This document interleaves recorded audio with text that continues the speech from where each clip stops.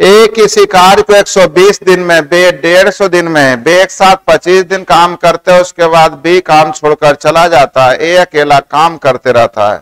पंद्रह दिन बाद सी, बी के स्थान पर शामिल हो जाता है कार्य 40 दिन में तो सी कितने दिन में तो आसान क्वेश्चन है।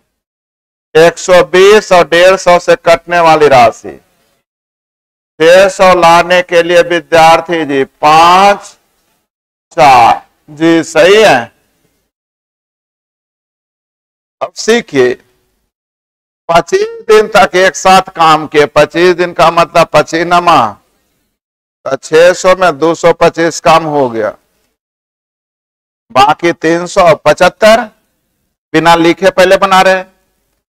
पी काम छोड़ दिया और ए अकेले पंद्रह दिन करते रहा। ये अकेले कई दिन? तब पंद्रह दिन का मतलब पंद्रह पचे, और हो गया बचा कितना? तीन सौ काम। अब कह रहा है, पंद्रह दिन बाद सी, बी के स्थान पर आ गया। बी मतलब जो चला गया था, उसके यहाँ पर कौन आ गया? तो सी आने का मतलब विद्यार्थी जी फाइव प्लस एक्स कई दिन में काम कर देगा? चालीस दिन में ना। तो तीन सौ काम चालीस दिन का मतलब साढ़े सात यूनिट से करेगा। अर्थात सी की इफिशियंसी कितना हो गया? ढाई। है ना। अब इसको 600 लाने के लिए आप खुद बोलिएगा, कितना से गुना करना चाहिए? तो आप बोलिएगा 600 बराबर फाइव बाई टू गुने टी पाँच से कटेगा 120 बार में आंसर हो जाएगा दो सौ चालीस। पहले सी की इफिशियंसी लगता है नहीं आप लोग को समझ में आया। लिख के बताओ। चलिए सर कर दिए कि ए बी सी की इफिशियंसी तो आप लोग समझ में आ गया होगा कितना कितना लिखे थे। पाँच, चार एक्स छह सौ काम करने के लिए ए और बी ने किया है विद्यार्थी जी पच्चीस दिन। फिर ए ने किया है पंद्रह दिन। फिर ए और सी ने किया है चालीस दिन। क्या एक्स का मान निकालने आ जाएगा? अब ये तो भाई हल करना आप ही का ड्यूटी बनेगा ना। तो दो सौ पच्चीस पचहत्तर, तीन सौ इधर आके घट गया। तब बच गया कितना? तीन सौ बराबर फाइव प्लस एक्स इंटू दूनी चालीस, अभी पचे सौ। पंद्रह बटा दो ना। यानी साढ़े सात में से पाँच जाएगा, यानी एक्स का मान जल्दी बोलिए। Five by two. अभी आ ही गया तो 600 काम करने के लिए कितना दिन लगेगा? तो 600 में पाँच बटा दो से भाग दे देंगे। तो पाँच से भाग देंगे 120 और दो ऊपर चल जाएगा, अर्थात आंसर कितना? या आप ऐसे भी बोल सकते हैं, पाँच था तो 120 तो आधा है तो दो सौ चालीस। समझे? एक या था 120 क्योंकि इफिशियंसी पाँच थी। आधी इफिशियंसी तो समय दुगना अर्थात दो सौ चालीस। नए समझ में आ रहा है। आया, आसान था। नेक्स्ट देखिएगा, चौदह पूर्णांक दो बटा सात का मतलब सौ बटा सात पढ़िएगा। इसको बीस पढ़िएगा, और इसको तो सौ, बीस और पचास से कटने वाली राशि सौ। सौ लाने के लिए इसको सात, राजू। श्यामू हो जाएगा पाँच और दूसरा है बंटू। कितना? चलिए, इतना तो आप लोग समझ में आ गए। श्यामू और बंटू एक साथ आठ दिन तक करते हैं। श्यामू और बंटू, यानी ग्यारह थे अट्ठासी काम हो गया। बच गया बारह ना? उसके बाद बंटू के स्थान पर राजू आ जाता है, यानी हो जाएगा राजू और श्याम। तो बारह को कैसे गुना करें कि बारह आ जाएगा?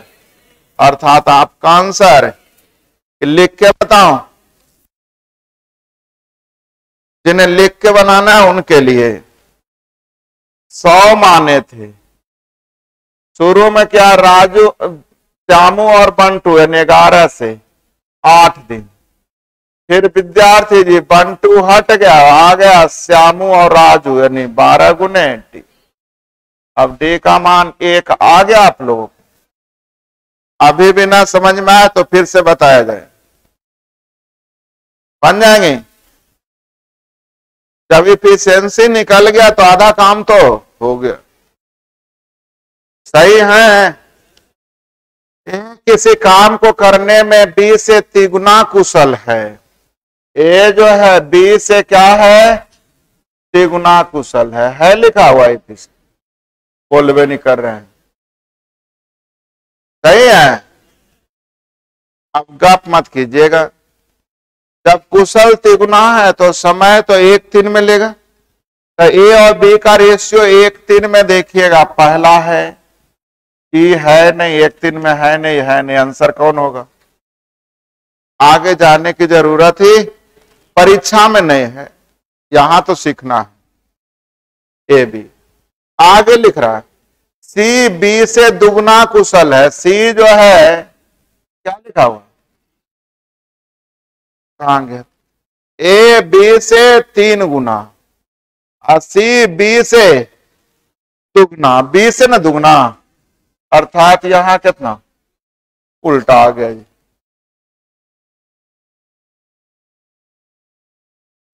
अच्छा हाँ टाइम ना पूछ रहा था। तो समय हो जाएगा। तीन एक दो से कटने वाली राशि। छ लाने के लिए जल्दी बोलिए। दो छ तीन। आंसर हो गया दो छ तीन। आरती किसी काम को करने में दुगना समय लेता है जितना ऊषा रामपाल उतना ही समय लेता है जितना कि आरती और उषा दोनों मिल करके। और तीनों मिलकर नौ दिन में तो सभी की क्षमताओं का रेशियो। चलिए सीखिए।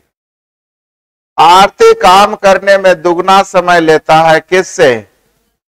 उषा से। दुगना समय ना? तो एक तो इधर दो, लेकिन इफिशियंसी उसका उल्टा ना?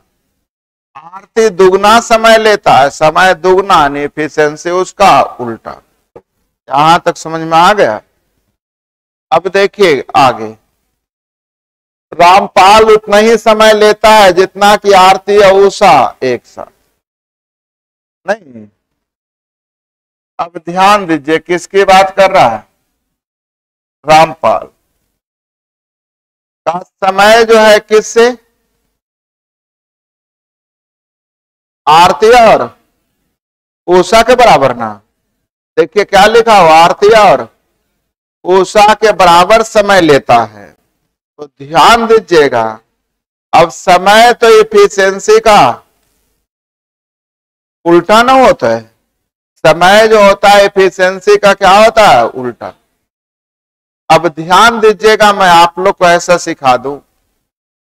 कि मान लीजिए इन दोनों मिलकर के कोई काम एक दिन में, इन दोनों मिलकर कोई काम।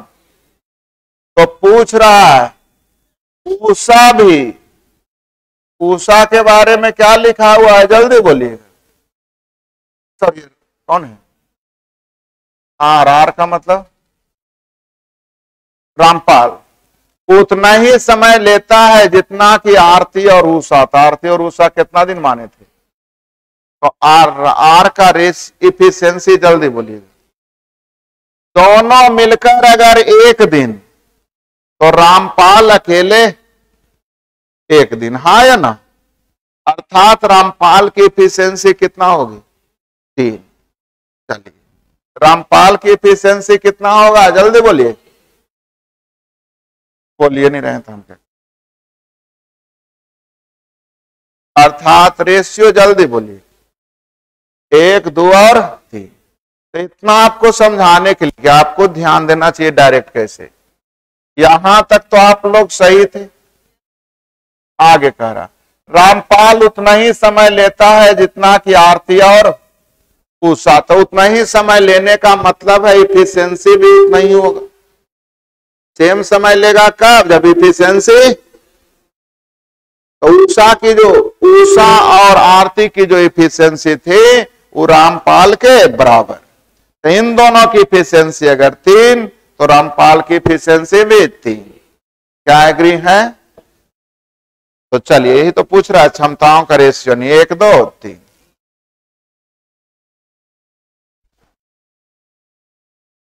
रामपाल उतना ही समय लेता है जितना आरती और उषा मतलब आरती उषा की जितना एफिशिएंसी उतना एफिशिएंसी राम का अकेले। तो राम की एफिशिएंसी हो जाएगा तीन। फिर से आया समझ में जी? मैंने आप लोगों को कहा कि रूम साफ़ करने में आप पाँचों मिलके जितना समय लेंगे, उतना ही समय में मैं अकेले कर दूँगा। मतलब आप पाँचों की जो इफिशियंसी होगा, उतना इफिशियंसी मेरा अकेला होगा। तो इन दोनों ने जितना समय लेगा, उतना ही समय में ये अकेले। इसका मतलब इसकी इफिशियंसी जो होगा इन दोनों के बराबर। और लिख के बना के भी तो बता दिया आप लोगों को। यदि आप घर बैठे अपनी परीक्षा की अच्छी तैयारी करना चाहते हैं तो प्ले स्टोर से स्टडी ट्रेंड ऐप को डाउनलोड करें।